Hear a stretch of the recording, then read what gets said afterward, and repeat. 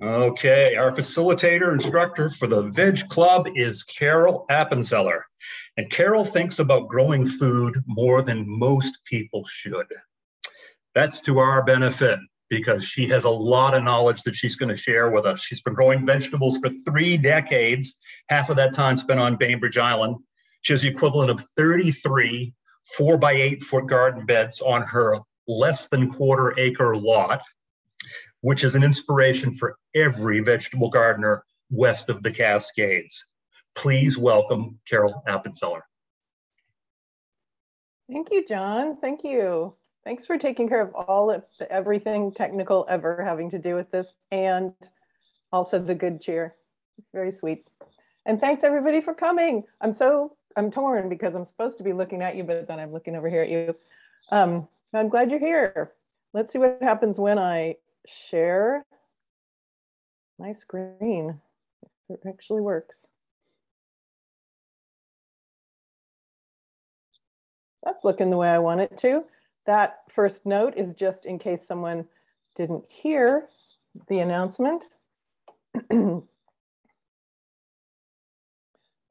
um, you can get a recording of the last month's class, which John, are you gonna post that? You're gonna put that in the chat if you wanna see last month's class, uh, so you don't have to jot down this URL, which John already has, I assume. So we're going to talk about, what are we talking about? We're talking about succession planting, which we started last time, and lights and um, protecting your plants all year round and uh, repelling slugs. But first, I have a couple of announcements because last time we were talking about opportunities to grow with other people who might know stuff that you would want to know. And one of the opportunities is Peaceful Morning Farm, John Chang, middle of the island here. Um, let's go there. There it is. The buildings aren't his because those are um, Brian McWhorter's buildings, but this is the Morales Farm, and a lot of it is John Chang's um, Peaceful Morning Farm. He grows 90% of the veg he grows goes to food banks. 10% goes as little thank you gifts to people who help him. So you could go work with him. I talked to him. He's very into this. Um, he has people volunteer all the time. You can volunteer with him and pick his brain while you're planting lettuces. And the other one is um, the Farmers and Gardeners Guild. So look, they have chickens, they have, um, what else? They have ducks, they're thinking of milking goats, and they would like um, people to join who have all kinds of skills. It says all skills appreciated not just gardening knowledge. So that's the Farmers and Gardeners Guild. Both these links and all this information will be in the resource page. And John is also scrambling to put it in the chat, but you don't have to copy it out of the chat if you're feeling stressed about it because it's on the resource page that you're going to get at the end. I don't, um, I've talked to Heidi a few times. I've never been to this Farmers and Gardeners Guild, but I, but you can call her and ask her about it. Okay. So by the end of our meeting, I think you're going to be able to do all of these things. I think you're going to overlap crops, set up simple lights if you want to this year or next. But this is just to build your knowledge as a gardener, not you know, to tell you you have to do it this year, but you're going to keep accumulating knowledge. And someday you might say, that's a good idea, I'm going to do it. You're going to reduce plant stress when you move starts outside and build simple movable row covers that I use every season and also fight slugs.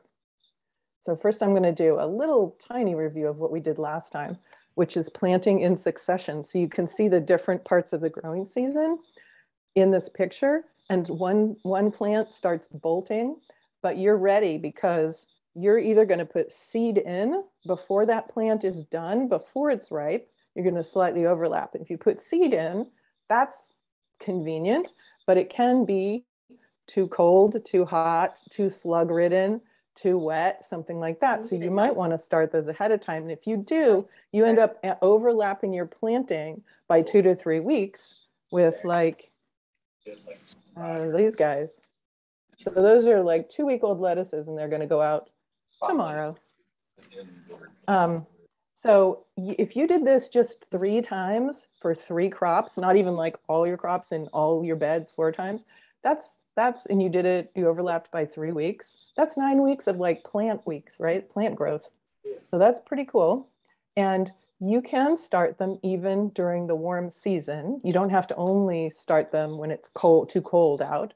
So we talked last time about same crop sowings where you plant, if you say I need three lettuces a week, so every other week I'm gonna plant six, or every month I'm planting 12 because I can't be bothered every other week, something like that. So it's good for lettuce and cilantro and lots of quick growth things. There's an entertainment. And then different crops in a sequence, that's pretty much the previous page we just saw. And then different maturity crops. So that's when I have a giant pumpkin that I love to grow the sweetmeat pumpkins. They're a squash basically, but they need a four by four foot root space eventually, but not when they're tiny. So I have lettuce starts ready to go and I put the lettuce starts all around. By the time the pumpkin takes over, the lettuce is mature and it's enjoying the shade from the pumpkin. So pretty good. Um, so those are all kinds of succession that we talked about last time. If you want some more details. Um, well, here are some more details. What can you sow directly in the garden? Or what do we sow in directly in the garden instead of in cells? So here we go. Directly in the ground, these are very rootsy things. See these? They want to put their roots straight down. So we don't put them in cells because it kind of messes them up. Oh, cells are these little pots. I call cells anything that you're growing in. So these are like classically what cells are. You know, you get them from the you get them from the nursery, but I would say any little pot I'm going to call a cell. So we don't do those. Put those right in the ground. Don't worry about it. These second group are a little easier in the ground, but I everybody you talk to will have a different take on this. Some people always start their peas in, in cells. I have started corn and I always start my cukes in cells. And I think beets are really easy in cells, but um, you know, people are sort of divided about that. So if you have any specific questions about that, I like to get ahead of the warm season by starting cukes in a in cells. and these, if you just are starting out, this third category, these are really happy in cells. See, they're really leafy what you want to be aware of is is it the if I'm you're going to start them in cells outside, are the temperatures right for them? So you want to look on the packet, or you want to go to um, your favorite seed source and look up when you know what's the germination temperature for lettuce. When does it like to grow? Because for example, basil is on here, and basil doesn't want to grow um, outside, like on your patio in cells, until it's quite warm.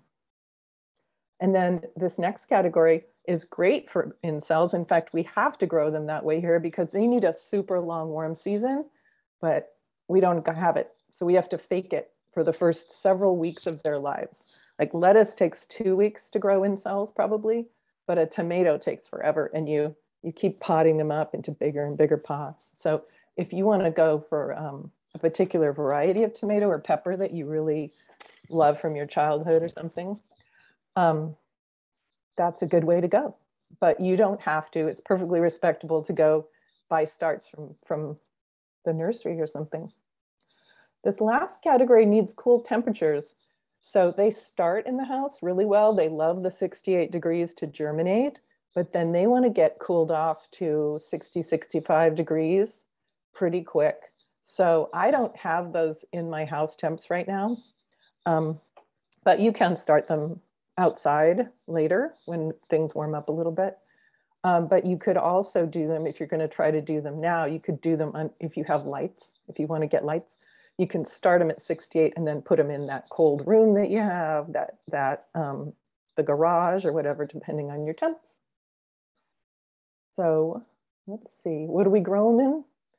Well, on the far right, there are the cells, but you can put them in lots of containers that you don't have to make more plastic, right? Um, I'm going to just recommend you not do that and crowd them in like that just for now if you're new to this, because you have to get these out of there speedy quick and put them into little cups by themselves anyway. But this one on the top left, um, I would like to advocate. You can put them in the cups. You can put them in individual egg carton cells, cut off juice bottles. Um, this one I'll explain a little bit. This person is going to thin it to four plants one in each quadrant. And then before they plant them out, like maybe a week before they plant them out, they're going to cut with a knife between them in the, the soil, between them like that way and that way. So that you then have these four separated plants. It seems cruel, but it's kinder than like trying to pull them out and rip them. And do you see that there, uh, one thing I disagree with that picture is, do you see how little soil there is in that, in that container? That, that's kind of a waste of container, right?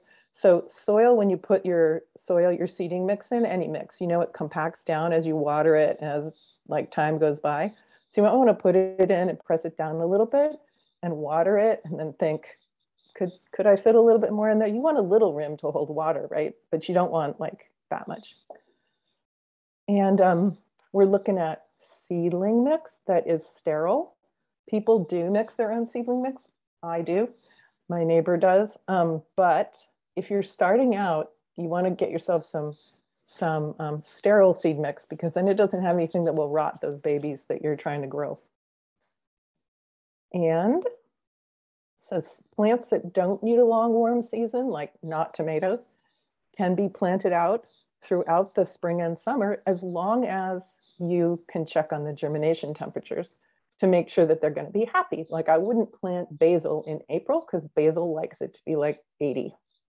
So how can you find out what germination temps are and what, what a plant needs? You can go to, for example, Johnny's. So we're looking at this spinach seed and we go down here and this shows temperatures. And this shows how like how successful it will be at uh, germinating. So you can see that spinach, spinach actually doesn't mind germinating at super cold temps, but it takes a really long time. And then you get to about 68 and it starts to tank. It doesn't want to be above 68. So do you all, has anybody tried growing spinach in August because you decided to have fall spinach? I'm not seeing anybody. Um, well, you'll plant 100 plants and like 40 of them come up maybe because it, it hates the heat. It doesn't want to germinate. It has an, a genetic adaptation not to germinate in the heat. So this happens to be Johnny's. So it's handy and they have like growth and growing information, things like that. So that is one of the places you can look up. You can look these things up. You can cover them up with a cloche like this, which in this case, a cloche to me is anything that you're protecting plants with. But this is a drawer, I hope, from a broken set of drawers. And they vented it by tipping it up. You can also poke holes in the sides, big holes. And but I wouldn't put it on the ground like this because slugs. And these will keep, uh, you know, keeping out of the wind and increase the temperatures a little bit. Oh, window light, sad news. Does anybody have starts that you've grown in the window and they were just great and they didn't get all skinny? Like eight inches of stem, two leaves, eight inches of stem, two leaves. Remember the bean plant from kindergarten? Well, windows generally don't work, even if it's bright, because not everything passes through that window. And it, they often have coatings on them that don't make it don't not work. But you can grow them under lights and get a head start. Does anybody have any questions? I gotta look. I'm not looking. Mm -hmm. I don't see anything. Do you, John? You see questions? Nothing yet. If you have a question and you don't want to type it, you can just, I don't know, holler at us. Okay. All right.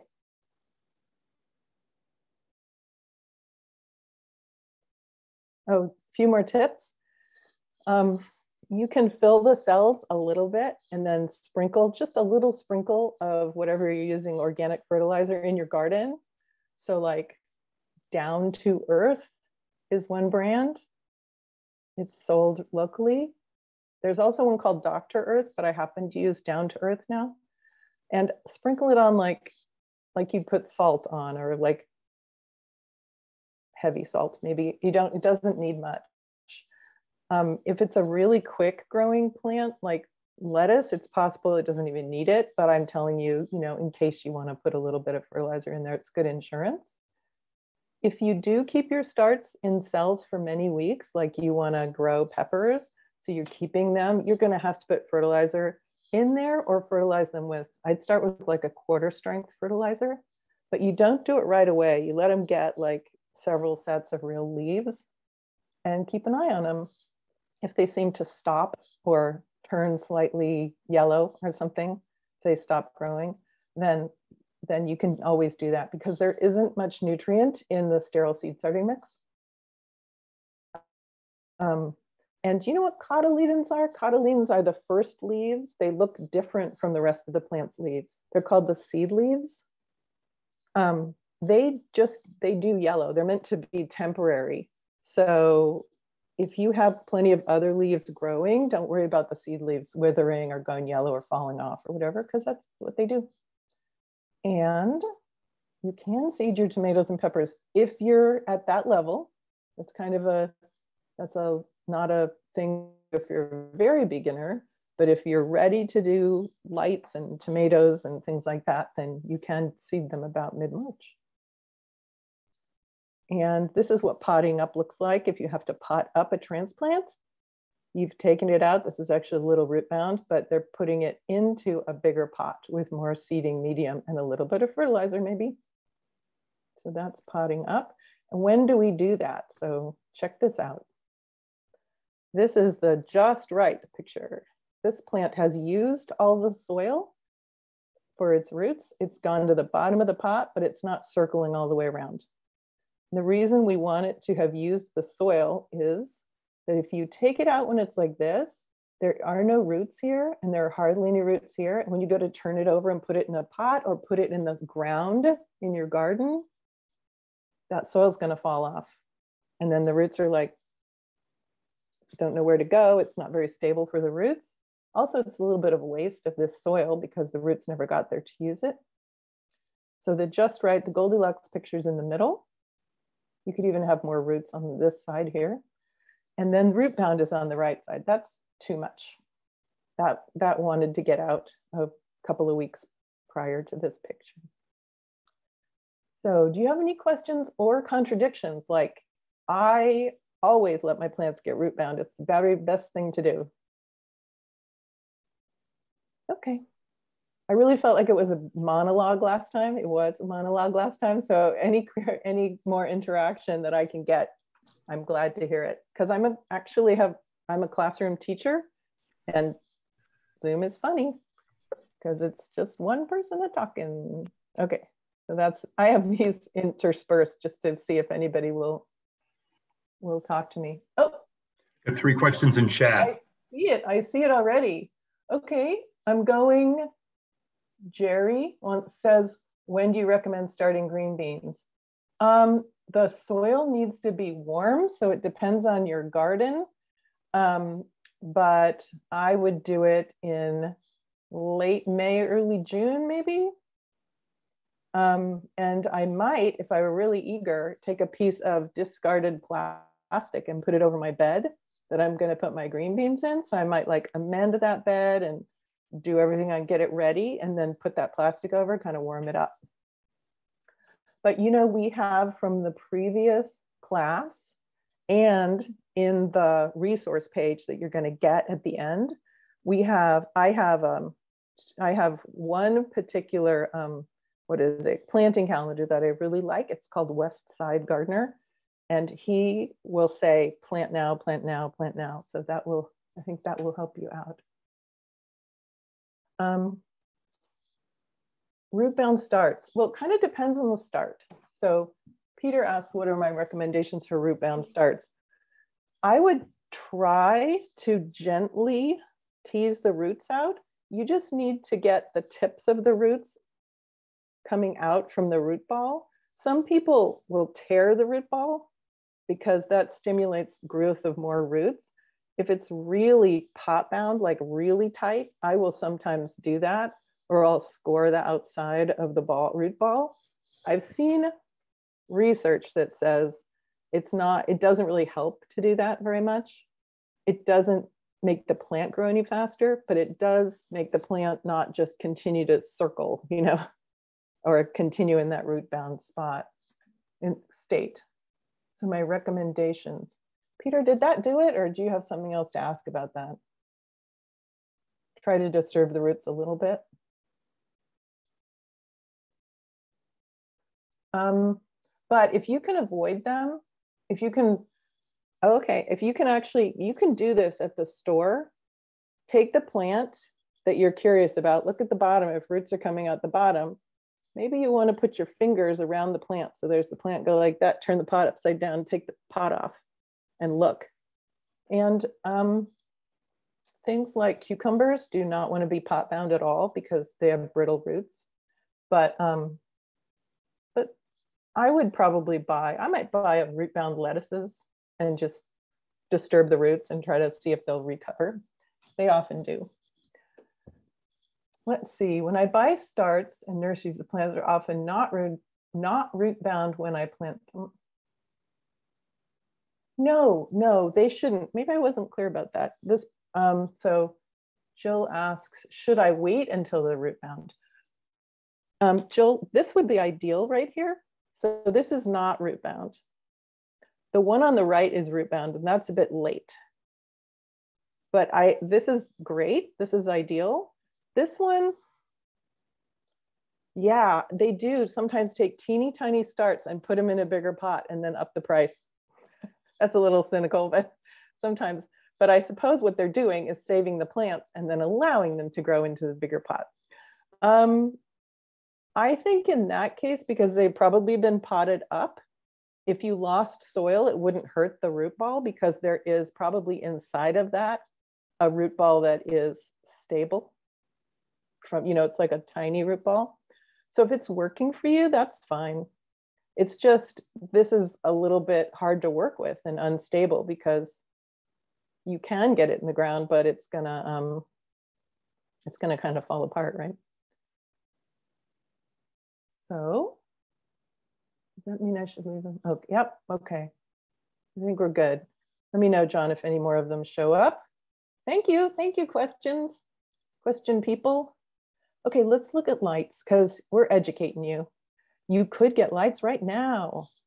You can, of course, start crops earlier and growing your own tomatoes, but we also use them to grow basil and cilantro all winter. So you know how you get the bunch and then half of it rots in the fridge? You can have basil and cilantro in little bits at a time. These are baby basils. These are not the winter basils, but teeny tiny basils right there from under the lights. Yeah, so, okay, so we'll have some tips on lights. This is a lot of stuff on lights. You know, shop lights are great. So from the hardware store, Craigslist, a garage sale, the picture on the right was free stuff from a few weeks ago on Craigslist in Kitsap County. There are tons of them in Seattle and they show up here and they should have two tubes. So see, they each have two tubes and then they have a white reflector. I have some that don't have a reflector and they work fine, but it's better if they do. And the reason we want two tubes is um, we want tubes above all the leaves. So I don't want to have these guys growing and then one tube that's down the middle because we need a lot of light on these guys. These guys need lights right above them. So I even like two lights with two tubes each. Okay, so it says one warm and one cool tube. So that's like a pinkish glow and a, um, a bluish glow, a blue-white light. And um, a lot of places will say you should get one warm and one cool tube. But what if you get them already filled, like you get them for free on Craigslist or you buy them that way? Um, it still works. Those work really well, I have found. Broad spectrum shop light tubes, as long as they are broad, broad spectrum, just like they're not special plant light full spectrum, they're just broad spectrum. You can use either broad spectrum or you can use one warm, one cool. So here's my defense of the broad spectrum bulbs. I got some from the thrift store and I used the tubes that were already in there for 10 years and the plants grew great. And then they conked up. So I got one warm and one cool and the plants are exactly the same. So then I thought, well, that's just me. We need more data. Well, Carol Deppe, who grows um, she's a plant breeder for the Northwest. She wrote in one of her books, I grow all my starts under two lights that I bought at the thrift store and I'm using the original tubes. So it's exactly what I do. And then Kansas State, I mean, I'm sure it's a lot of Aggies, but Kansas State University said, you don't need the warm and cool. So if you were buying them new, I'd probably go warm and cool because I don't want to like mess you up. But if they're already in there, you might just try growing the plants under and see how it goes.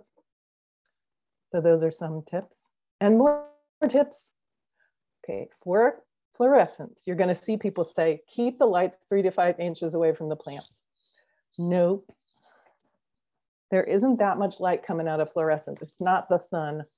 So we want it one inch to less than an inch above the, the plants. So that means if the plants are this big, the lights are like right there. And, um, oh yeah, they'll say adjust for plant height. So the second thing here, so you want to have the lights on pulleys and they go up and down. Well, it's really good to have them adjustable height-wise. But what do you do when you have a six inch plant and a one inch plant? You move the plants.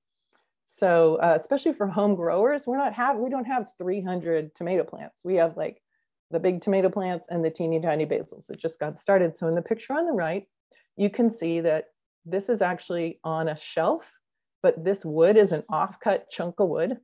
On the far right, it's propped up on a turned over like takeout container or something. And then there are some books that I don't really like. So these are my starts. And as they get bigger, I pull out chemistry for dummies. And when I want to do something else, I, you know, when it when these get bigger, I pull out the take takeout container. And so all kinds of things. Sometimes I'll take a baking pan from the kitchen and shove it under because I don't really want to use things for one thing. I want to use what I have. And then another thing is we have to keep the lights on for longer because plants need a certain number of photons. They need their photons bucket filled up.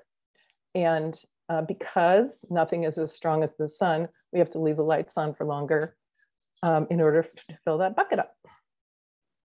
And yeah, you want to keep fluorescent tubes up out of the kids' reach because they do require special disposal, right? They've got some mercury in them. Um, so you don't want them smashing anything. I'm going to show you why you want the plant, the light close. Drop some science on you. So here's light. This is a point source light, but it works with tubes too. If you really think about it, I could explain. So my plant's going to be one inches away, one inch away, and the light coming out spreads and it covers that area. But then you say, no, I'm going to put mine at two inches away. And you'd think it like, it doesn't look different to me, right? It looks like the same brightness when I hold my hand up there but it's called the inverse square law. If you move it twice as far, it's one quarter the intensity because that same amount of light is spread over four inches, four square inches. And then three, it goes to spread over nine inches. So it's a lot less bright. And I do see questions. I'm gonna answer at the end of this. Um, you can get LEDs also they come two ways. So on the right, you see a pinkish glow. That's a red blue light because plants, you'd think plants use green light because they're green, right? But the reason you see them as green is they're not using the green light. It's bouncing off and hitting your eyes. What they suck in and use to build sugar is, is um, red and blue light. And uh, the white one is fine. That is actually a plant light also. So both of those are specific LEDs for plants, but the broad spectrum one, the white one, has all the colors. So it's got red and blue. And of course, the red blue light people who make the purpley glow lights that you see there um, say that there's more efficient because they're using all their energy to make what the plants want. But um, um, the Aggie, the ag reports say that they both work. And you can even get them as tubes. You have to read but there are some that are tube, tube shaped and they can go in actual fluorescent lights. So I'm, you have to check and make sure that they're the right size and the right wattage and stuff, wattage equivalency. Um, oh yeah, and with LEDs, you keep the plants further from the light and you're gonna have to adjust it as needed. And I'm sorry, I can't tell you how many inches because LEDs, especially now, because it's kind of the Wild West and everybody's making new kinds of you know, plant lights and things because it's a fairly new technology. You kind of have to read the package and then do some experimentation. So if you decide five inches is your distance and the plants go crisp, then you're gonna move the plants, you're gonna move the light away. And if they start to get leggy and skinny, then you're gonna move the, the light closer. So leggy is, yeah, long stem and then in between the leaves. And there are three links on the resources page, I think, under this. So it'll give you varying degrees of information about LED lights, depending on how far you want to dive in. Oh yeah, and the last thing on here says, do the reviews mention vegetable starts? And the reason I say this is a lot of LED talk is about growing marijuana. And is it the right light wave, uh, wavelength for making them bud? But budding takes different wavelengths from um, just growing babies. So yeah. And you can pay so much money for special racks with lights on them. And often the lights are not even intense. They'll be like one tube over this massive shelf. And so the pictures do not, do not uh, show me that they're gonna work very well. So you can have it in a bookcase under a shelf. So, you know, the picture on the lower right is my actual grow lights that are in a bookcase. So the lights are chained from cup hooks on one shelf and the plants are on the shelf below. And then there are books below that and family heirlooms above. So uh, you can do it. Put it, you know, if you don't want in the living room, put it in the office. You can put it, of course, on your garage shelves or your workbench if you're growing brassicas for cool temperatures. Or you can make yourself a homemade light stand, both of which are shown on the right side. Far right is wood, like that, because that's just gonna compost when you're done with it. The left side is PVC. You don't glue it together because it will stay together, but and you can pull it apart when you want to store it. It does make plastic. PVC is fairly polluting when you make it. One thing I would do with this one is I would move these two light stands closer because see how far apart these lights are? They're also way too high. I would want them to have two tubes and be close together so I can get them and down, have the plants lifted quite high so that they're really getting exposure. Okay, let's see, I'm gonna go. Yeah, I think I'll check for these for questions. So do I need full spectrum bulbs? I don't think you need a special plant light, but you need, if you're going to use um, just an office light, and if it says full spectrum on it or broad spectrum, that's fine. Or you can do one pink, one blue. Um, one warm, one cold. That says, let's see. Hi, Fran Corton. Fran bought spinach, lettuce, and peas. There were many separate roots in each cell. Gently pull them apart. Yeah, especially with spinach and lettuce, you can you can pull them apart. Yeah, if you're gentle, yeah, that's actually called pricking out. You can just use your fingers. When you do that, you want to grab the leaves, not the stems, because they can replace a leaf, but a plant can't replace the stem. And um, yeah, you can even use like a pencil to kind of pull them apart. I don't know if the peas will respond well to that, but I'm looking forward to you telling me, Fran, if the peas were okay with that. Sometimes their roots are kind of brittle and stuff, but yeah. Um, are fluorescent bulbs better than LED? Oh, LED produces more photosynthetically active radiation. So it's called a PAR rating. So are they better? Um, the LEDs are more efficient, so they're less cost per hour to run, but you might not notice it very much. It might not make a very big difference. Um, but if you want to save energy, that might, you know, it's a virtuous way to go. And um, they may be more expensive. I would really look at the reviews because there are lots of different kinds for some that people like. And the LEDs don't have any mercury in the tubes. And um, I did hear a discussion that, you know, making LEDs is not pollution free either, but um, those are some advantages. I don't know if fluorescent bulbs are better, but if you already had fluorescent bulbs, I wouldn't necessarily want you to scrap them. Um, oh, this says we get even better results with LED. That's cool. I'm looking for a rationalization for getting LED, but I have to let mine grow, uh, wear out first. So that's Steve and Beverly. You like your LED. I'd like to hear about that. And there you go. Okay, so I think that's it, right, John? I don't see any more. Okay, so sometimes when you grow things inside under light, something called damping off happens. And that's when on Tuesday they're all like this, and on Wednesday they're like that. And their little stems have rotted. So if it happens, get the damp, the ones that have fallen over, I mean, get the whole container containing those out. Um, you can, if it didn't happen to the, their neighbors in other containers, that's okay. But get it out, dump the soil, get rid of the starts, soak, wash them out, soak them in bleach, and then rinse it a whole lot. And you start over with sterile seed starting mix. And you know those there are seed starting kits that have this plastic cover looks like a looks like a takeout container cover. Um, I know I'd never use those. Uh, I use a little like a plastic bag over lettuce starts because I don't put them in the soil. I just press them onto the surface of the soil and they can dry out easily. But um, if you did have a humidity cover on, as soon as any uh, seed under their sprouts, I would pull it off. And with the humidity cover, if you're using it over the whole bunch of seeds and one seed takes five weeks to sprout and one seed takes two days, I don't think it does very much good because you're taking it off, um, off too early for some of the seeds.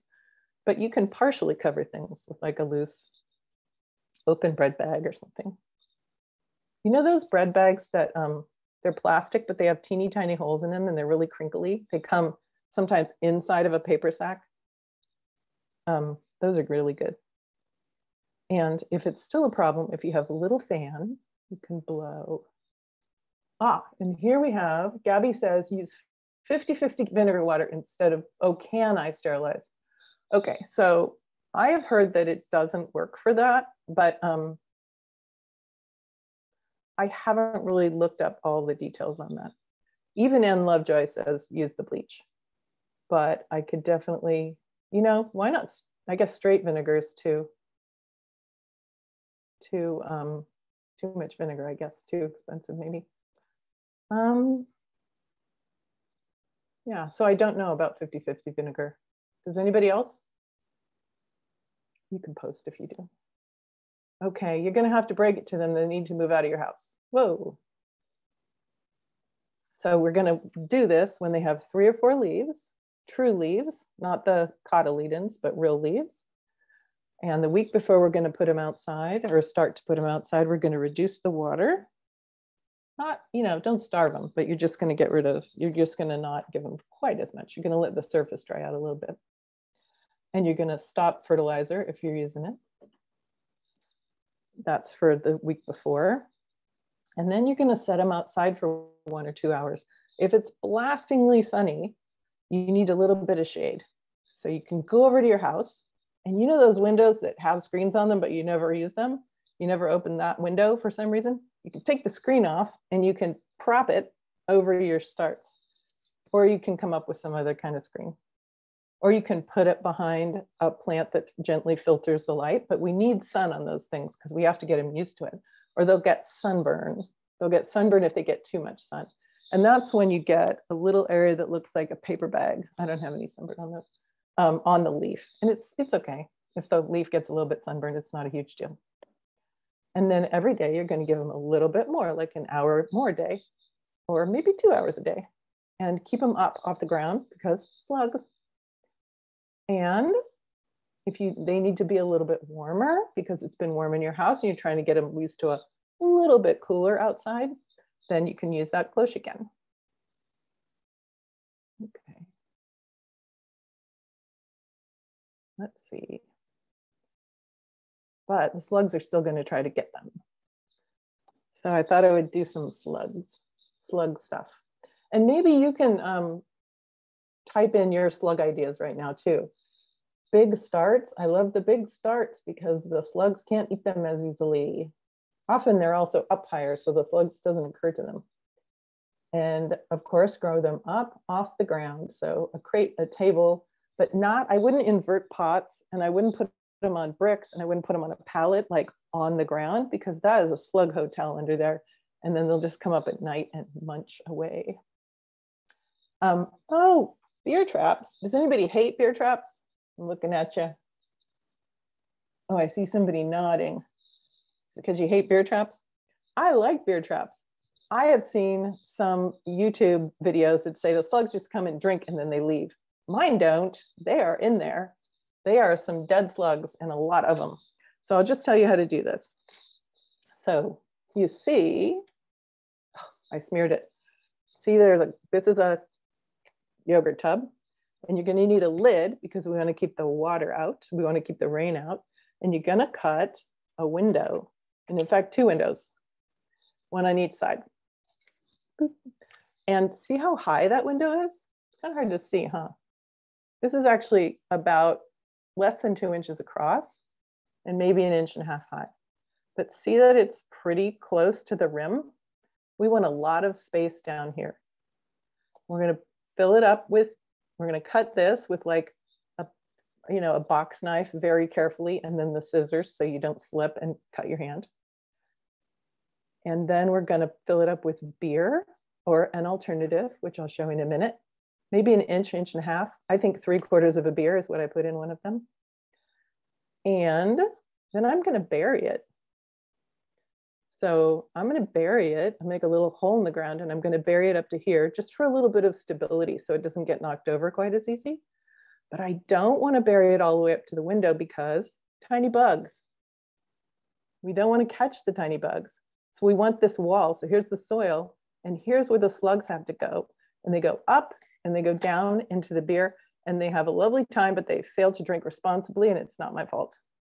And those bugs are actually slug eating beetles. So we do not want them in there. So they won't go up and over. So that's the deal with the slug trap. Let's see, does anybody have any slug trap info? Nope. Um, I said last time I don't mulch little seedlings in the rainy season because I don't want leaf mulch slug bedrooms all around my lettuces because I think they it invites the slugs. And certainly when it gets warmer, then I do mulch. Um, I, oh, the next one says water in the morning. There's some ag research that compared watering in the morning rather than at night to slug pellets, the old style slug pellets, and they were equally effective. So, I mean, even if they're like three quarters as effective, I think that's pretty good. I think watering in the morning, letting the surfaces dry out is a great way not to invite as many slugs. And then copper tape. I know copper tape is beloved of many people, beloved by many people, I guess. But um, Kew Gardens and a few other places have done some studies, like real controlled studies, and they say that it doesn't really work but I'd be interested to know if you have a controlled study that's like two pots, same conditions, same plant, same pot, one with one with copper and one without. Um, and you can plant cover to encourage predatory insects. So many insects in your garden are helping you. So don't panic when you see beetles and stuff, because a lot of times those eat um, slug eggs. A lot of them do. So I think next time is when we're going to do some beneficial insect stuff. But um, maybe you've noticed this. You go to pull something out, you go to pull out chickweed or something, and there are bugs just crawling away. So some of those are predatory bugs. And so I have a lot of alyssum in my garden um, because it's really good cover for those bugs. And there are other plants too that you can use.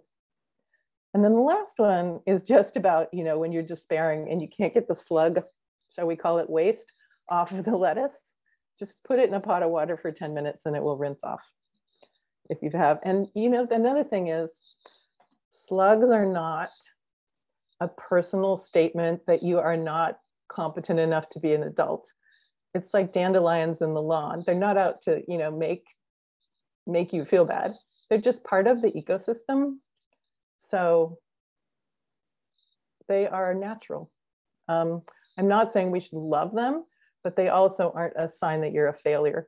Slug damage, slug holes is not that bad for, you know, a big cabbage plant with five slug holes in it. It's not really gonna be damaged to an extent. And if you don't want to do beer, do this. Ann Lovejoy's recipe.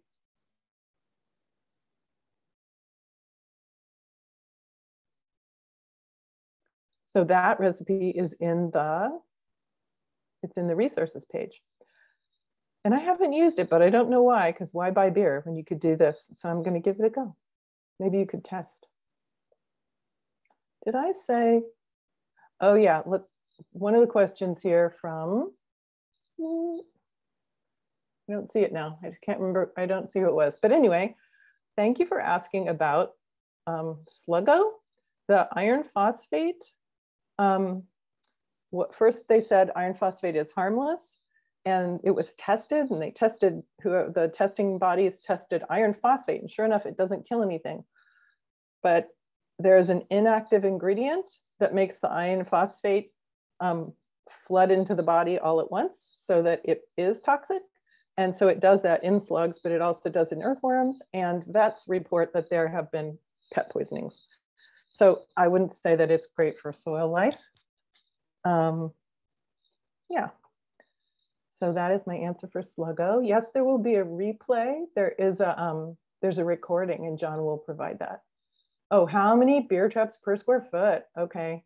So I don't have enough, but um, you know, if one every three feet would probably be good. They they are good for about two to maybe two feet they, they attract the, the slugs. So if you have lettuce, I do put them right in the middle, but a lot of people say, don't put them in the middle of the lettuce, put them around like slightly outside the lettuce bed to draw the slugs away.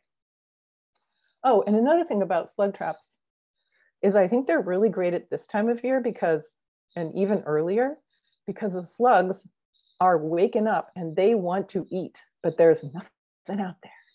So when I put slug traps out, then they are very attracted let's see, a friend of mine swears by diatomaceous earth. That's good. I don't think it works unless it's dry.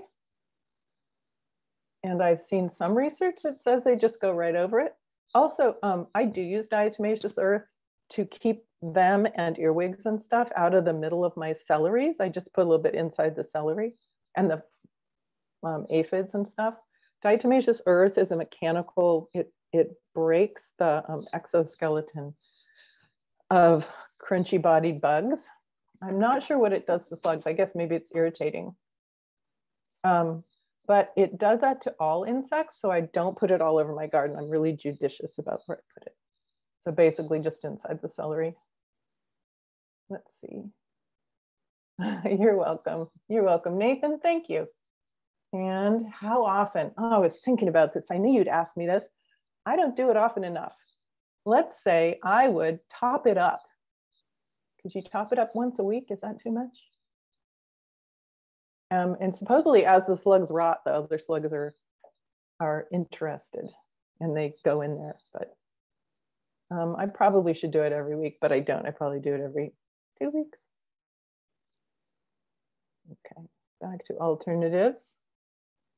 And we've got lots of questions and I think that's every question?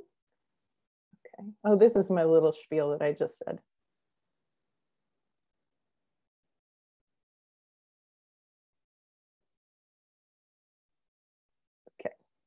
So that sounds a little scoldy, I guess, but I'm trying to just encourage you. They're just part of the deal. Okay. All right. Well, um, should we have a little break? John, a little break, five minutes. Should we have five? So I'll see you back here in five minutes, okay? So two minutes after, that says, my, my clock says two, uh, it says it's three of, so I'll see you at two after. Okay, bye-bye. If you like me. Oh shoot, that was part, that was part of when we weren't recording. Sorry, John. Did everybody see, did anybody who wanted to see the slug traps see the slug traps? Because I was, before I wasn't, I was screen sharing and I shouldn't have been. So the point is that you have a barrier, a wall, part of the wall sticking up out of the soil. So the beetles walking around hit um, the wall and go around, and the slugs are more motivated and they go right, right up. It says, Steve and Beverly want to know, what do I do to maintain the slug trap? I take up the lid and I often pour the slugs at the base of some plant that I want to fertilize because that's a lot of nitrogen. And then that plant grows really well.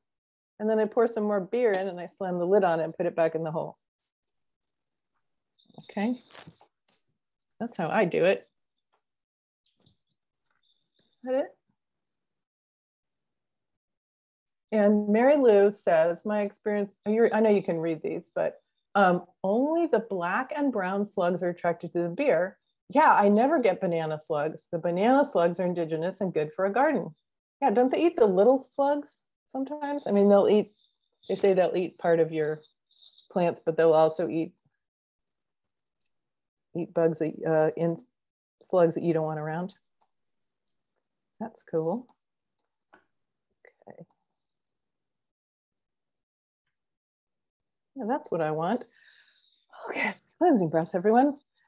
We're going to talk about cloches and covers. So you might not do lights this year. You might never do lights, but now you know some stuff about them and about generally taking care of starts. Because even if you buy starts from the store, if they were in a greenhouse, they may not be hardened off. And that getting them used to moving out into the world is called hardening off.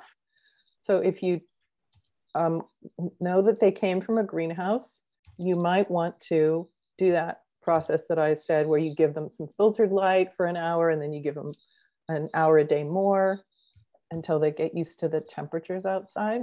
So that works for purchase starts too. And another thing we can do with purchase starts and direct seeded things and all kinds of stuff that doesn't, doesn't refer to lights is use cloches and tunnels. So cloche, I said for me, is anything you turn upside down to put over a plant to protect it. So they can do all these things.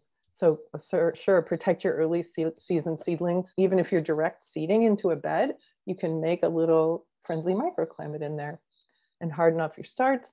But you can also make your heat loving plants that you bought from the store or grew yourself really happy I left, you know, last year with those 100 degree heat, I left the cloches on the tomatoes and or on the peppers and the eggplants, and they loved it. Just huge production.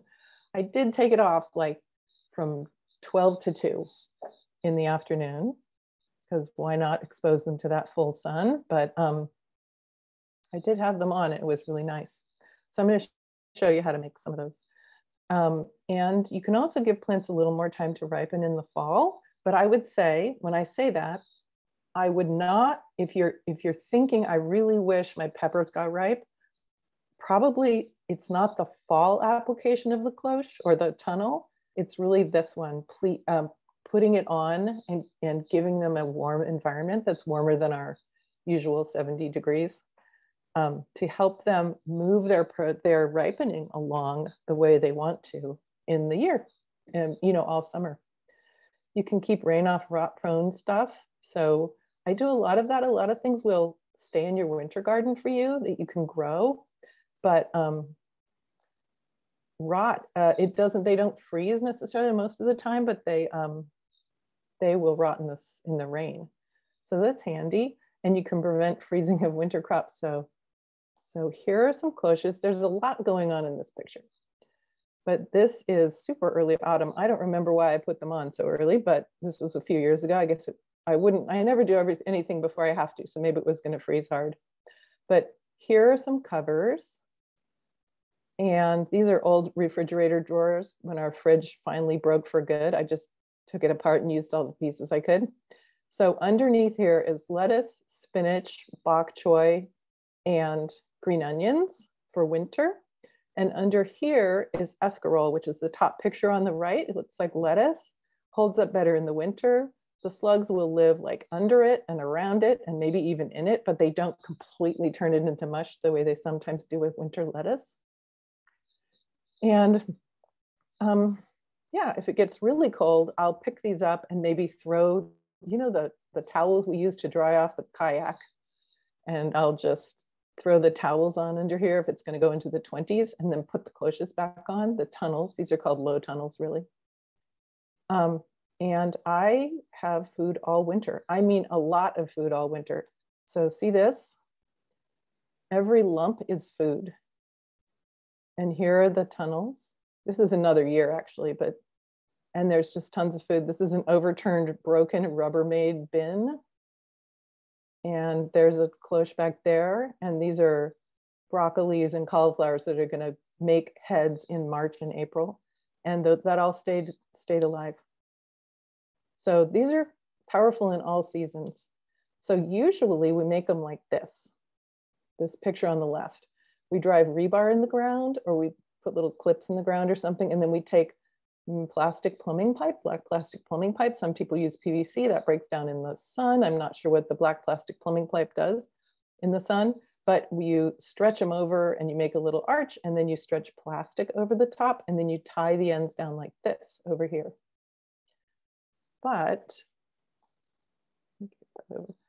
um, just a sec. But I actually am a fan of a slightly different way to go. So these are the very common ones, and you can find out all over the place how to make these if you decide these are your favorites.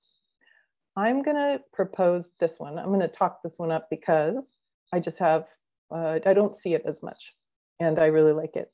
So this is remesh. It's called remesh. It's concrete reinforcing mesh. So that's what that's called. It's not a hog panel. Hog panels cost 50 bucks. These cost 10. If you call Builders FirstSource, when I called them, I said, how much is remesh? And they said, hog panels are, and they told me the price for that because they figured I wanted it for my garden. I wanted a hog panel, but the hog panel is really rigid. And this is also not fencing because fencing is too smushy. So um, you can make an arch, you bend it so that it stays this way. It's not like spring loaded. When you pick it up, it doesn't go flat. And then you put a cover over it. And usually people pin the ends down. But I got tired of pinning the ends down because I eat my food that's out in the garden all year, or I'm trying to check on my starts at this time of year that, that are out there. And it means in order to push the side up, I have to unpin the ends and then kind of wrestle this and I'm cold and the water's caught in there and it's wet and it's kind of unpleasant. Um, so it's not terrible, but I do it a slightly different way. So I'll show you what I do. This is a short version of the same tunnel. So I cut a piece of plastic so that it can go all the way down on each end. So longer than the tunnel. And then I flatten it on the end. You can't really see, but I'm just trying to make it as flat as possible. And that leaves me with a lot of extra on the side. So I pick up the side and I shove my hand under and I work it in there, kind of like a modified hospital corner on a bed, because you can see it right here on the right side. And then I make a loop in a little bit of rope or paracord or whatever, and I hook it on the, I hooked it on the other side, but I hooked it down there on the corner of the Y of the mesh. And then I brought it over the top with another loop and that's a bungee just to keep it tight. So this is super mobile. It's super lightweight. I have a lot of these that are nine feet long, I think, eight, eight feet long. And I can pick them up by grabbing the top. The plastic is just loose enough that I can grab the wire and I just pick it up and like toss it off to the side to get it out of the way. But what happens if it's gonna bluster and blow? You know those rocks that you find absolutely everywhere when you're digging? Um, I find some that are as big as I can get that will still fit in one of those remesh squares. And I put it at the ground level in a corner remesh square so that it's sitting on the wire. So you probably can't see me, but it would be like in this square right here, sitting on the wire. And I put one at each corner. And I thought, well, probably I need more probably this winter it's going to blow away, but it didn't. They don't blow away. So you can put more rocks if you feel, you know, less confident. So um, you can also, this is quite high, so I'd like grow eggplants under this size, but you can also squash them a little flatter. So see, this is about 18 inches high and it's wider. So there's a four foot bed and my strawberries are under there. And there's deer netting on here because in winter, I can't use my motion activated sprinkler that I was talking up last time um, because it'll freeze, right? The water hose will freeze. So there's deer, this is not bird netting because that's a little hard to control, but the deer netting is easier to make sure that it stays on and doesn't get tangled up. And on the end, this end is open. I didn't have a problem with it, but you see there's a, there's a stick here. This is another, another whole one of them.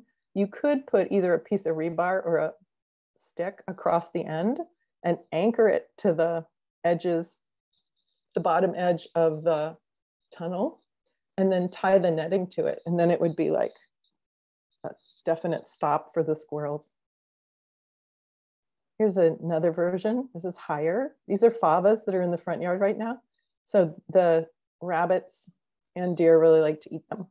So this is again deer netting over a tall tunnel, but follow my cursor. Favas grow up and get pretty tall, especially in my six hours of sun. And then they flop over and they're hard to find the beans and it's kind of a mess. So I'm gonna hold them up. So I actually have another tunnel so see my cursor here, and there's more remesh that goes like this. So it's a low one with no netting, and they've grown up through it. And then I have a high one to protect it. So it sounds like a lot of faff because I suppose it is when you first make them, but it's a lot easier than, you know, building a mini greenhouse or trying to work with bird netting that the plants grow through. And so I just make these once and then I just reuse them for years and years. I have some that are 20 years old and they're fine. And I can cut them down and use them for different things. When I'm not using them for a hoop house, I can flatten it out and grow plants up it. So they're very adaptive and I quite like them. I would say this, if you have plastic over them and it's a sunny day, it can get sweaty in there. So you want to vent the ends by pulling the ends up or the sides up a little bit. And I just walk out and take them off um, for midday if I if it's really sunny. Um, I'll just go out for my 11 o'clock stretch and take them off. And then I go up for my four o'clock stretch and put them back on. Not on all of them, but if I if I'm particularly concerned about something like getting too hot or too sweaty and they make good trellises too. So remesh, this is rebar, which is concrete reinforcing rods. You can get them really long. And they've made a hoop, they've made a big tall tunnel. And then see these, these are tomatoes. So these trellises are made of remesh, not hog panel again. And you can trellis tomatoes. I'll talk about that in June. Um, I think it's June.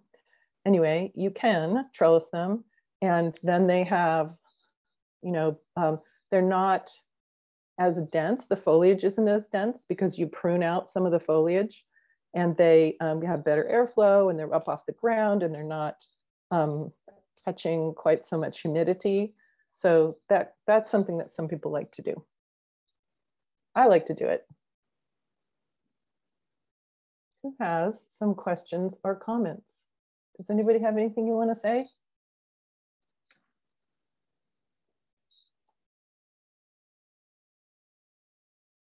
I think I got nothing.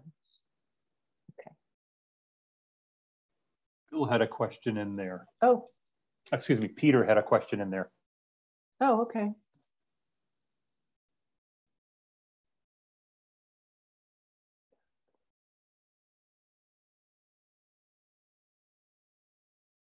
John, can you tell me what it is? I don't see it.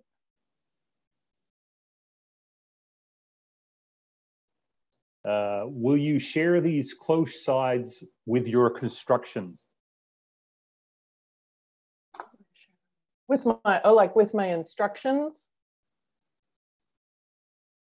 Um, I definitely, oh, the slides? Well, the slides are in the recording, but I suppose I could, I could think about how to do that. I could just slide that, share the slide deck. Yeah, I mean, Joan, I could probably put that somewhere, right? I tell you what, if you want them, why don't you um, there's a feedback form at the end. If you could make a comment that you'd like to see one or all of the slides, then I think I could probably share them. I have to think about it. Um, but yeah, of course, we want to be able to do that. Okay. And you have put have... your email and you put your email contact in the in Yeah, the I chat. did put my email in the chat. Yeah, email me. Yeah, is that good? Okay. Thank you, Peter. Oh, with the bungee cords. Sure. Yeah, I definitely, yeah, I can just send that to you. Sure. Okay, okay, well, here's where to get it. Now, all of this that's on the slide is in the resource page, and thanks to John, about to be in the chat as well. But um, you used to be able to get remesh that was eight by nine feet approximately, and that made the really long tunnels. Um, but now you can get it four by eight for 10 bucks each at Builders First in Bainbridge Island and Kingston. This is what I know of. So Builders FirstSource used to be called ProBuild, and I'm sure you'll tell me what it used to be called before that, because I don't know, but everybody has a different name for it. It's the one behind Virginia Mason on Wintergreen that's across from Ace.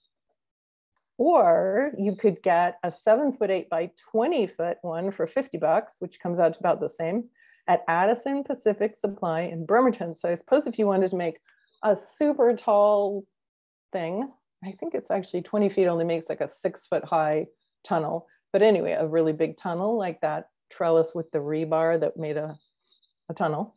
Um, you could do that. The question is, how do you get that home? But I think you could go to Addison Pacific Supply with an idea of how big you wanted your finished pieces and bring some bolt cutters. And if you don't have bolt cutters, I have small bolt cutters and you can borrow them. Uh, and cut it down and then put it on top of your truck.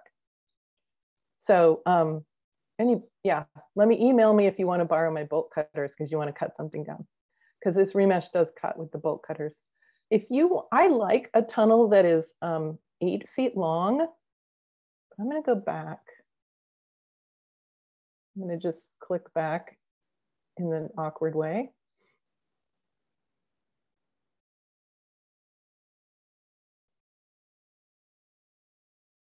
Yeah, okay.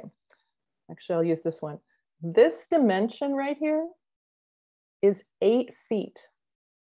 So we're getting a four by eight foot panel. We're gonna use eight feet for this, and then it's only four feet long.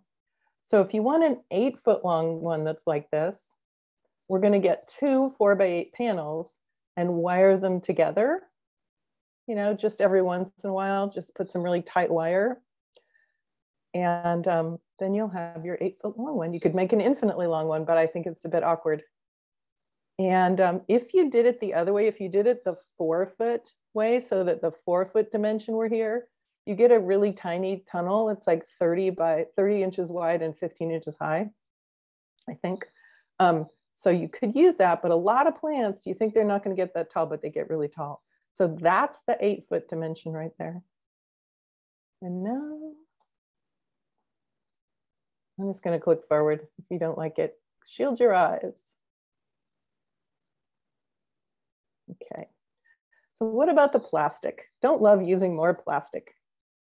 So um, I have used a lot of reused mattress bags and um, pallet covers. And um, when there was an appliance store here, I went and asked the guy if I could look for plastic. And he was so excited because he really didn't like all the trash they were producing. So that's a reuse idea. I think those last two years, if you use reused plastic, if you're gonna buy plastic, you can get, you can buy plastic just like sheets in the, in the hardware store, but they aren't UV resistant. And then we're making new plastic and it's not UV resistant, so it's gonna decay. So if you are gonna buy it because you just, you know, can't find anything, or a lot of times the mattress bag people, they just rip them down the middle so I actually have to say, what if I brought you cookies? Would you, you know, cut it cleanly and give me a big piece? You can, um, I'm actually gonna stick with the reuse thing for a sec. You can, you don't have to have one big piece that goes over it. You can use like two smaller pieces to cover it up and just put the paracord in more than one spot to hold the plastic up. If you're gonna buy it, you can buy it at the hardware store and it probably lasts two years. I'm guessing. You can buy a UV resistant roll. It's at Johnny's Seeds. Let's go there. There it is, Tough, Night, Light, Tufflite Nursery Clear. They're out of it right now, but I called them. They're going to get it for sure at the end of March, so they say. And it's 100 feet long. So if you got that, it's $51 for 100 feet. If you got that, you could somehow let everybody here know, or like we could probably organize it somehow. If you wanted to share with six other people, then every we'd get six cloches out of that, right? I think six eight foot tunnels because everybody could get like a 15 foot piece. And then they say for sure this lasts four years. I think it's going to last longer. I got some because I found it at a garage sale. So I felt like that was a score. So that's how I learned about this. So Am I conflicted about promoting the plastic? Yes. But those are some options. And then, yeah. So, and I use it absolutely every season. I'm always using them. And I really like the metal rather than, I really like the metal because it lasts an incredibly long time. And when it decays, it just becomes iron in the soil. So what are we looking at? Do you need to use greenhouse plastic? Regular visqueen. Oh, it's not UV blocking, it's UV resistant. So the plastic doesn't break down in the sun as easily. You know, it'll particulate in the sun eventually. It gets weaker and stuff. So that's why the UV resistant roll is available. But certainly you could use um, regular plastic. You could just buy new regular plastic. And I was saying I thought it lasted a couple of years. In my experience, I think it usually does last a couple of years. But maybe if you're careful, you could get it to last longer. Okay. Carol, so I use is... I use regular six mil plastic that's just left over from other projects to do some of my yes. composting. And mm -hmm two years, it's not full sun all the time, but two years is the absolute extent that it has lasted me. Then it starts breaking up into tiny little pieces that I have to chase all over my yard. Yeah, yeah, right. Yeah, that's what I'm saying. So it's great to reuse, but you're not going to get as much life out of it, right? To reuse from people's trash is good. Well, that is everything about cloches. And I'm going to show you what, just remind you of what the classes are projected to be about this year. So Next year, predators and pollinators and spring crops. I have a specific question on the feedback form about whether you want me to talk more about how to put seeds in the ground and make the carrots come up, or how to make the lettuce sprout evenly, or something like that. So you can tell me if you would like that, and I will adjust things according to what you want. Um, because I don't know if you're at the level of wanting to do things that you're going to grow in wintertime and that's a little more challenging, or you just want to make the carrots come out of the ground. So what you want, so that is what you can, you can do. Oh, John, the feedback survey form is in red at the bottom of the text part of the um, of the resource page. Okay. Final questions, let's check. Oh, okay. Fran wants to know more about what needs to be started from seeds and what's okay to buy starts. I think tons of things are okay to buy from starts. Um, see. I don't remember where I was in this. Um, yeah, I buy some starts. I mean, I think it's fine to blow, buy everything um, from starts except for these guys right here. I don't think you'll find them as starts. They do sometimes have garlic in pots, but garlic is so easy to just stick in the ground that I don't think we usually need to do garlic in pots. But um, these are the ones that we do directly in the ground because they have a diving root and we can't have them start to circle inside of a pot or get malformed in the pot, in the little tiny pot, because um, it's you end up with carrots that are split and things like that. So, you know, you meet people who every once in a while who manage to start a parsnip in a in a tube out of a this one did, woman did it in a tube out of a, a paper towel roll and she started all of her parsnips in these super long tubes. Um, let's see.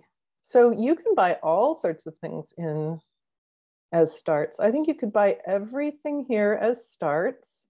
You can get peas as starts and beans and all of these things as starts. And it's just if you were saying, well, do I need to make myself create these as starts? They're pretty easy to sow directly. So I probably wouldn't do that. But if you want to go buy them, then I think so. Is any can anybody catch me on that and say nope? You need to you need to just never do these or always do these. I don't see anybody doing that. How was that, Fran? Does that give you the answer that you want? Yes, thank you. That's very clear. Okay, cool. I think I have a modified version of this actual page in the resource page, which is good. I, mean, I, had, I had another question that you skipped. Oh, okay. What was, oh, can you say it? Yes. So for heat loving plants, mm-hmm. you know, like tomato, is it good to put some bricks at the base to heat up during the day and stay warm longer in the night? Um, oops. Um, if you do that, you are preventing the soil from heating. Does that make sense? Oh, I see. You mean the brick is heating, but the soil is not. Yeah. So sometimes people will put bricks on plants around plants that don't like heat, mm. like oh. supposedly oh. clematis. Oh. And then I've seen other um, an experiment where they took 50 gallon barrels and they put them all over in a greenhouse because they thought that would heat the greenhouse, right? That would at least maintain the, the temperatures. But they found that the barrels were shading the ground and it cooled the soil temps. Right. So I think I'd rather have the the tomatoes have happy roots. Okay. Um, maybe you. if we and does anybody else have an opinion about that? But you could use a cloche. But you know, for a while anyway, and then get them used to not having that. Do you know some people make super tall high tunnels? I may try this ridiculous thing this year. I may suspend one of my hoops really high over my tomato plants. Even Ann Lovejoy has written about making, you know, tomato houses because I'm at the point where I can do ridiculous things. I just listened yeah. to a podcast by uh, um, Seattle Urban Farm, and they talked about high hoop high hoop houses versus low sort of stuff. It's it's very interesting. Uh-huh. A lot of good information. I'll I'll put the yeah. link into the uh, chat. Oh yeah, yeah. Right. So those are even a high hoop is like almost like a greenhouse. It's like 20 can be 20 feet wide. So it's like a massive version of a, of a little low hoop. And a tomato house is a narrow thing. It's just like four feet wide and and maybe eight feet tall. what was I going to do? Do you want to see the resource page or are we over that? Anybody opinion? It's going to make you queasy because I'm going to scroll through. So if you haven't seen this, it's got everything from the last class. Here's the planting calendar. I'm not going to take you through the whole thing, but it's got all kinds of books and all the things we talked about today, but then go way down and it has locally adapted seed sources, seeds from ancestral cultures, and a the everything I know about local pea patches. So that's actually on two pages. So there you go. Crop rotation, you're right. I have not talked about crop rotation. I was going to do that in the pests and disease one. It depends. Tomatoes, I think, are at least three years. Some people rotate. Uh, some people rotate seven for some crops. So potato and tomato are a minimum of three years. And there are these things called rotation groups. So if you grow things in the potato family, which is all these things, and say you're growing them in this bed, you should grow them in that bed the following year, that bed the next year, and then rotate them around. I'll say that rotation does not usually work perfectly, but um, but we give it a try. We try hard, right? Can I put my handwritten list of veggies by season? Yes, but I'm not sure what that is. Let me find it. Was it one that I actually talked about or is it one that I was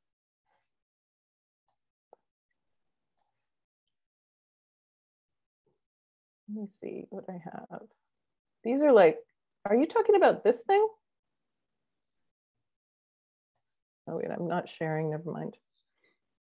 Showing the right thing. You're not talking about this, right? Oops, I got a N-Y-E-S. Was that yes? Do it again, Jerry. Yes, oh, this. Okay, this is this is what we eat in the winter. This was, so I'm gonna show this later, but this is fresh in the garden and some of it is under those hoop houses. And then we have things I cellar in the garage and dry and ferment and freeze and all that stuff.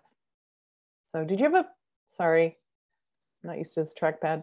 Um, did you have a particular question about this, Jerry?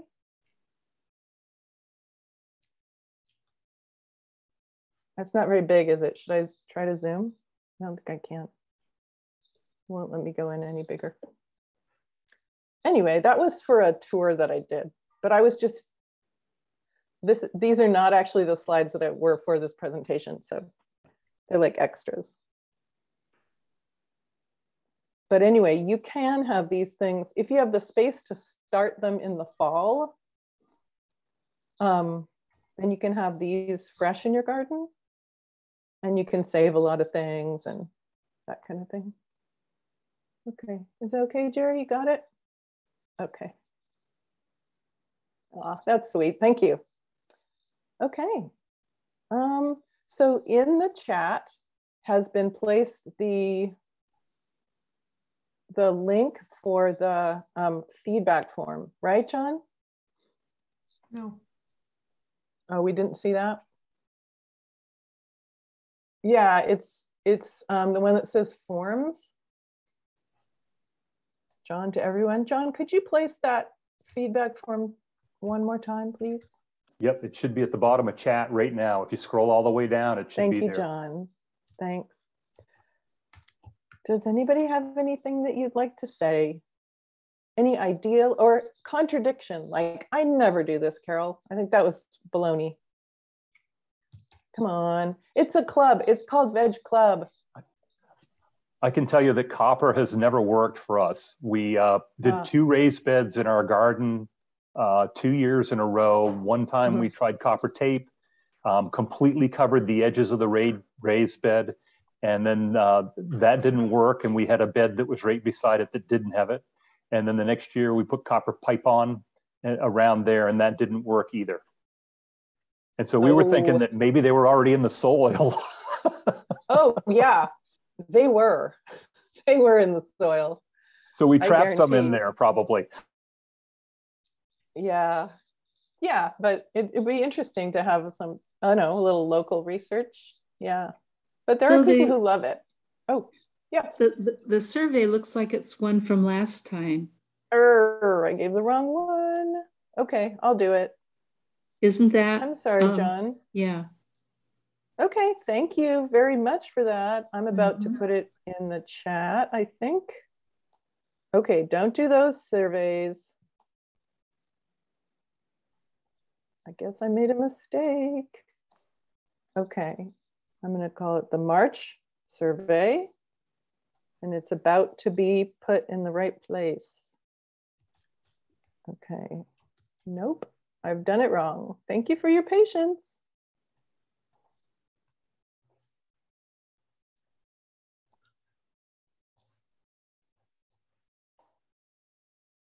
That's the one.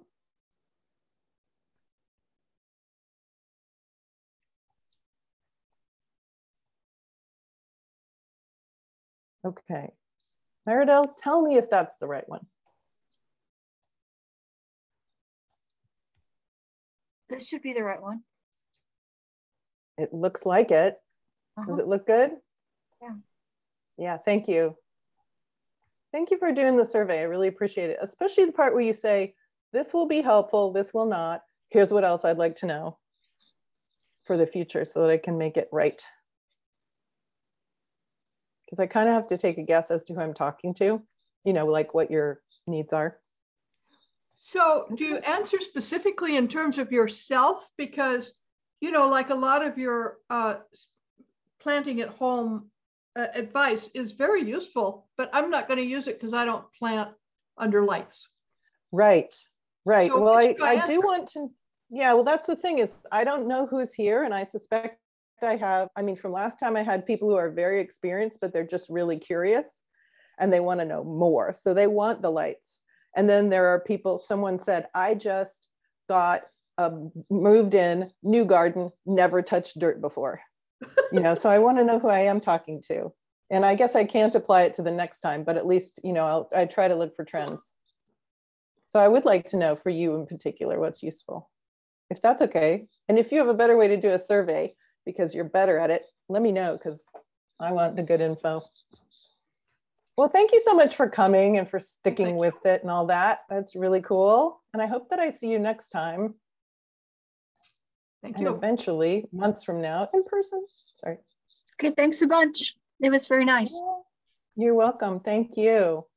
Thanks, the recording everybody. for this the recording for this will be on Bainbridge Prepares YouTube channel probably about a week from now. Um, it's uh, uh, it's just how we do the handoff, and and then they watch it and make sure that uh, um, it, it came across um, correctly, and then it gets uploaded at that point. So give it about a week, and it'll be up there.